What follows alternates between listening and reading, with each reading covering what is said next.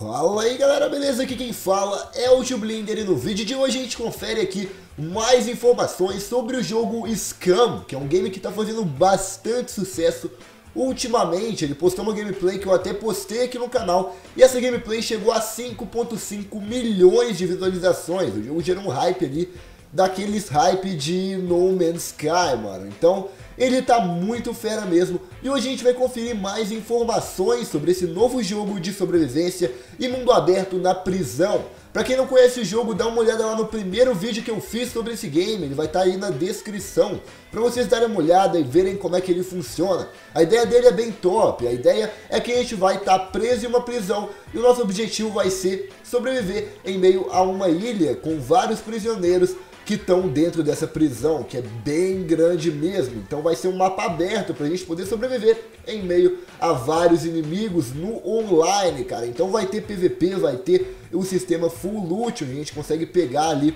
se a gente matar o cara, o todos os itens dele. E vai ter aquele sistema de clãs também dentro dali dessa ilha, que é bem grande. Vai ser tipo, os caras reservaram uma ilha para ser uma prisão. Eu não sei muito direito como é que vai ser o mapa, se a gente vai poder sair dessa ilha, se a gente não vai poder, porque eles ainda não divulgaram. Coisa que eles divulgaram foi o sistema de combate do jogo. A gente vai ter vários rifles, vai ter armas ali mais primitivas, né, mano? Não vai ter aquele rifle cabuloso, vai ter mais algumas armas ali caseiras, pelo fato de a gente estar no meio de uma prisão, né, mano? Então, a gente não vai ter tanto recurso para poder fazer as armas. A questão da bala também vai ser bem escassa. E por conta disso eles acabaram fazendo várias armas Emilixir, aquelas armas brancas, como por exemplo ali taco de beisebol, facas, etc. Que deixou o game bem mais da hora. Sem contar a parada do Unarmed Combat, que seria ali o combate com a mão. O jogo vai explorar um tema ali um pouco no estilo de UFC, onde a gente consegue dar uns socos bem cabulosos e também desviar dos socos ali do nosso oponente. A ideia dele tá bem interessante mesmo, pessoal. Eu vou deixar passando uma gameplay de fundo do mapa do game para vocês verem ali como é que os gráficos estão feras, cara. Pelo que parece ele vai ser um pouco pesado, rodando ali em PCs medianos. Eles não querem fazer um PC tão foda, mas também não vai rodar facilmente ali em qualquer PC. O jogo vai ter elementos survival, como por exemplo ali aquela ideia de você ter que comer comida para poder sobreviver, e também a ideia de stamina, onde a gente não pode sair correndo ali para sempre. E a gente também vai ter mais aquela parada de vida, sangramento, onde se, por exemplo o cara dá um soco na nossa perna, a gente vai ficar mancando, se o cara der um soco no nosso braço, a gente vai ter que trocar a arma de mão, dependendo. Então tem uma ideia bem realista ali nesse quesito. A gente vai ter tanto locais ali de floresta, onde a gente vai poder encontrar animais selvagens, ou locais onde a prisão vai estar mais abandonada, que vai ser bem tenso mesmo, mano. Bom, a gente também vai ter, como eu falei, animais selvagens, e esses animais vão poder ser mortos pelos humanos, no caso, pelo seu player, só que vai precisar de mais de um player para matar, de acordo com os desenvolvedores, eles vão ser bem fortes, então vai ser bem tenso mesmo, cara, pra gente poder matar esses animais selvagens, sejam lobos, ursos, etc. E com eles a gente consegue fazer armaduras e roupas para poder melhorar ali o nosso personagem, por exemplo, fazer uma armadura de pele, uma parada do tipo, que vão ajudar tanto no frio quanto também no PVP, onde vai, por exemplo, dar menos dano se você tiver com uma armadura ali de pele, vai ser uma coisa desse tipo. Coisa que eu achei bem interessante também é a customização do player, a gente consegue modificar o nosso player.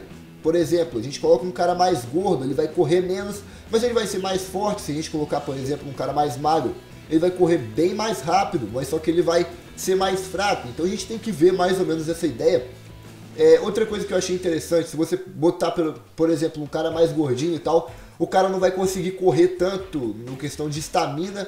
E se a gente colocar um cara mais magro, às vezes ele também não vai conseguir correr tanto. Por exemplo, um cara mais alto, ele também não vai conseguir correr tanto.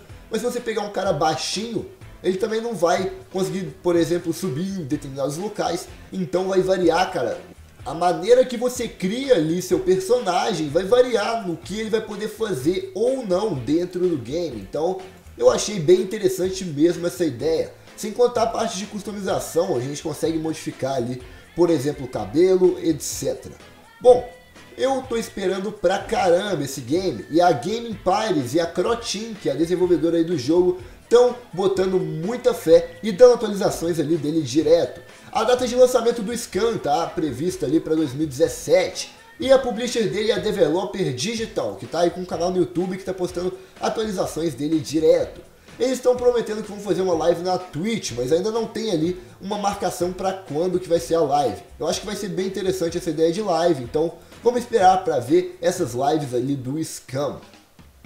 Bom pessoal, basicamente esse daí foi o vídeo, cara. Queria agradecer a todo mundo que ficou aqui até o final. Esse jogo tá muito fera mesmo. Comenta aí o que você achou dessa ideia de um jogo de mundo aberto, onde você tá basicamente ali na prisão. Eu achei muito top mesmo essa ideia. Eu já tinha feito um vídeo sobre o jogo, só que eu só botei a gameplay dele pra vocês. E agora eu resolvi falar mais um pouco, falar ali sobre como é que ele vai ser, etc. Bom pessoal, o link do último vídeo que eu fiz sobre o jogo vai estar na descrição, se você quiser dar uma olhada.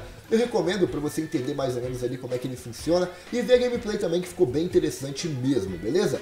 Bom pessoal, é isso aí, tamo junto sempre, dá um like aí embaixo, comenta aí o que, que você achou e compartilha o vídeo nas redes sociais que eu vou ficar muito feliz. Se você tiver uma ideia de jogo novo ou também de uma lista que você queira que eu faça ou algum jogo que você queira que eu faça mais vídeos aí sobre ele, comenta aí embaixo também que vai ser bem interessante. É nóis pessoal, valeu e fá, falou!